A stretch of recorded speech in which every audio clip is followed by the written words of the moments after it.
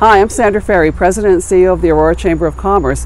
Have you heard that the Aurora Chamber is hosting a celebrity sports dinner on September 28th at the Royal Venetian Mansion, featuring Wendel Clark, Jeremy Roenick, and emceed by Ken Reid.